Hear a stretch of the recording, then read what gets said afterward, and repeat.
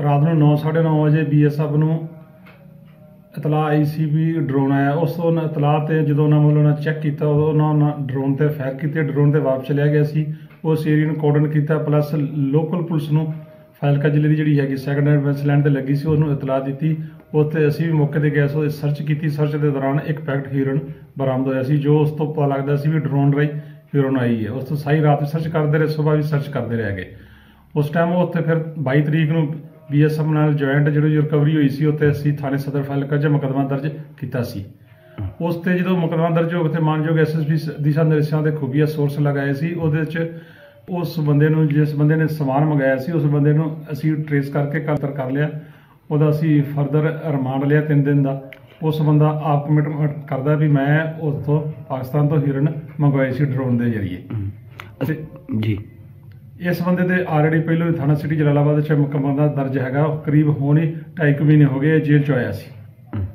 Already ਪਹਿਲਾਂ hero ਦੇ ਮੁਕੱਦਮੇ ਚ ਫਿਰੋਜ਼ਪੁਰ ਜੇਲ੍ਹ ਦੇ ਵਿੱਚ ਹੈਗਾ ਸੀ। ਇਹਦੇ ਕੋਲ ਉਥੋਂ, ਇਹਦੇ ਕੋਲ ਪਾਕਿਸਤਾਨ ਦਾ ਨੰਬਰ ਹੈਗਾ ਸੀ ਇਹਦੇ ਕੋਲ। ਉਸ ਨੰਬਰ ਦੇ ਨੇ ਕੰਡਕਟ ਕਰਕੇ ਦਿਸ਼ਾ ਉਥੋਂ ਦੀ ਲੋਕੇਸ਼ਨ ਦਿੱਤੀ ਸੀ। ਅਜੇ ਮਤਲਬ ਵੀ ਪਹਿਲਾ ਡਰੋਨ ਪਹਿਲਾ ਚੱਕਰ ਹੀ ਲੱਗਾ ਸੀ। ਪੱਕਾ ਚੱਕਰ ਲੱਗਾ, ਬਸ ਬੀਐਸ ਐਕਟਿਵ ਸੀ। ਬੀਐਸ ਜਦੋਂ ਮਤਲਬ ਵੀ ਡਰੋਨ ਆਇਆ ਤਾਂ ਉਹਨਾਂ ਫਾਇਰ ਕੀਤਾ। ਇਹਨੂੰ ਪਤਾ ਲੱਗਿਆ ਵੀ ਬੀਐਸ ਨੂੰ ਪਤਾ ਲੱਗ ਗਿਆ ਤੇ ਇਹ ਉਥੋਂ ਮੌਕੇ ਤੋਂ ਭੱਜ ਗਿਆ।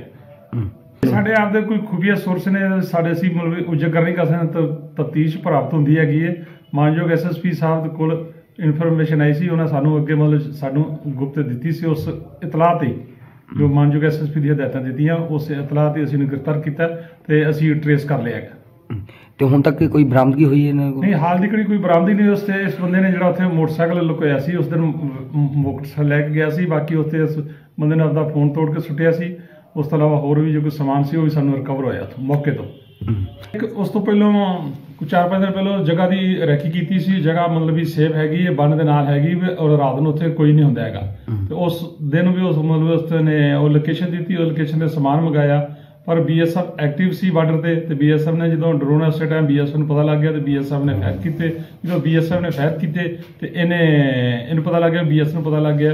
ਤੇ ਇਹ ਆਪਦਾ ਉੱਥੋਂ ਮੋਟਰਸਾਈਕਲ ਛੱਡ ਕੇ ਤੇ ਭੱਜ ਗਿਆ ਸੀ। ਮੌਕੇ ਤੇ ਮਾਫੜੇ ਨੇ ਜਾ ਇਹ ਫਿਰ ਲੁਕਿਆ ਕਿੱਥੇ ਜਾ ਕੇ? ਕਿ ਇਹ ਰਾਤੋਂ ਰਾਤ ਤੇ ਪੁੱਛਗਿੱਛ ਚ ਆਇਆ ਵੀ ਰਾਤੋਂ ਰਾਤ ਉੱਥੋਂ ਪੈਦਲ ਚਲਾ ਗਿਆ ਸਾਹਿਬ ਦੇ ਪਿੰਡ ਚਲਾ ਗਿਆ ਸੀ।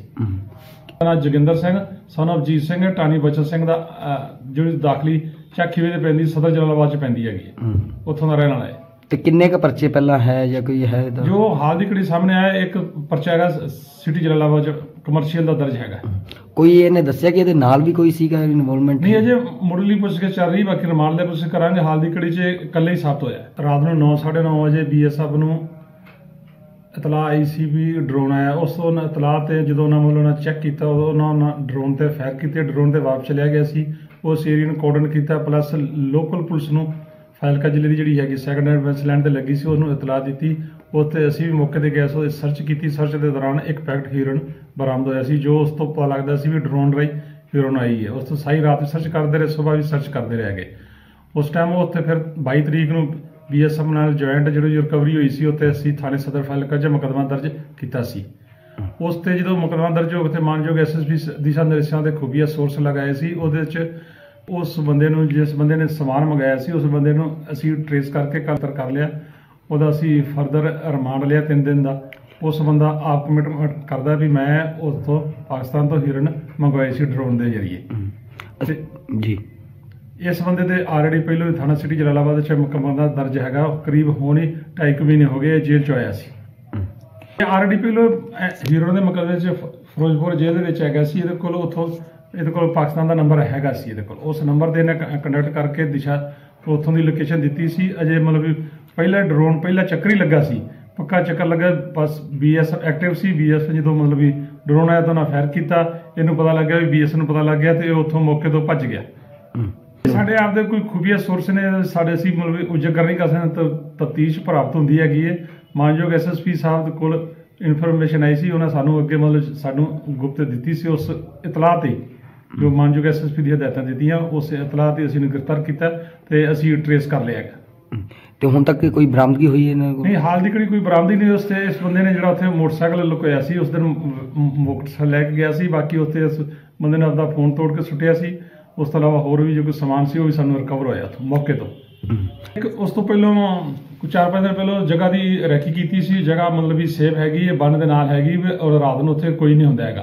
ਤੇ ਉਸ ਦਿਨ ਵੀ ਉਸ ਮਤਲਬ ਉਸ ਨੇ ਉਹ ਲੋਕੇਸ਼ਨ ਦਿੱਤੀ ਉਹ ਲੋਕੇਸ਼ਨ ਤੇ ਸਮਾਨ ਮੰਗਾਇਆ ਪਰ ਬੀਐਸਐਫ ਐਕਟਿਵ ਸੀ ਬਾਰਡਰ ਤੇ ਤੇ ਬੀਐਸਐਫ ਨੇ ਜਦੋਂ ਡਰੋਨ ਉਸੇ ਟਾਈਮ ਬੀਐਸਐਫ ਨੂੰ ਪਤਾ ਲੱਗ ਗਿਆ ਤੇ ਬੀਐਸਐਫ ਨੇ ਫਾਇਰ ਕੀਤੇ। ਜਦੋਂ ਬੀਐਸਐਫ ਨੇ ਫਾਇਰ ਕੀਤੇ ਤੇ ਇਹਨੇ ਇਹਨੂੰ ਪਤਾ ਲੱਗ ਗਿਆ ਬੀਐਸ ਨੂੰ ਪਤਾ ਲੱਗ ਗਿਆ। ਤੇ ਇਹ ਆਪਦਾ ਉੱਥੋਂ ਮੋਟਰਸਾਈਕਲ ਛੱਡ ਕੇ ਤੇ ਭੱਜ ਗਿਆ ਸੀ। ਮੌਕੇ ਤੇ ਮਾਫੜੇ ਨੇ ਜਾ। ਇਹ ਫਿਰ ਲੁਕਿਆ ਕਿੱਥੇ ਜਾ ਕੇ? ਕਿ ਇਹ ਰਾਤੋਂ ਰਾਤ ਤੇ ਪੁੱਛ ਕੇ ਚ ਆਇਆ ਕਿ ਰਾਤੋਂ ਰਾਤ ਉੱਥੋਂ ਪੈਦਲ ਚਲਾ ਗਿਆ ਸਾਹਿਬ ਦੇ ਪਿੰਡ ਚਲਾ ਗਿਆ ਸੀ।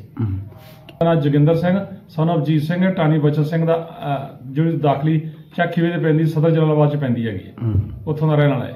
ਤੇ ਕਿੰਨੇ ਕ ਪਰਚੇ ਪਹਿਲਾਂ ਹੈ ਜਾਂ ਕੋਈ ਹੈ? ਜੋ ਹਾਲ ਦੀ ਘੜੀ ਸਾਹਮਣੇ ਆਇਆ ਇੱਕ ਪਰਚਾ ਹੈਗਾ ਸਿਟੀ ਜਲਾਲਾਬਾਦ ਚ ਕਮਰਸ਼ੀਅਲ ਦਾ ਦਰਜ ਹੈਗਾ।